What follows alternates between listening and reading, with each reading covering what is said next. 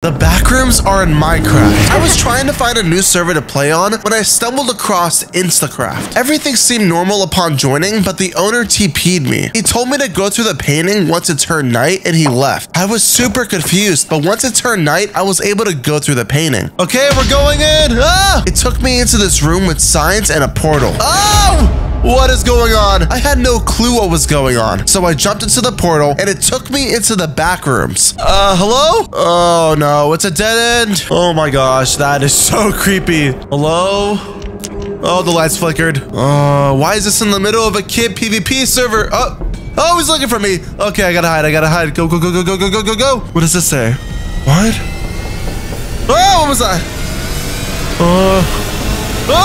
Going on? I got too scared to continue, so I left. Should I revisit the back rooms?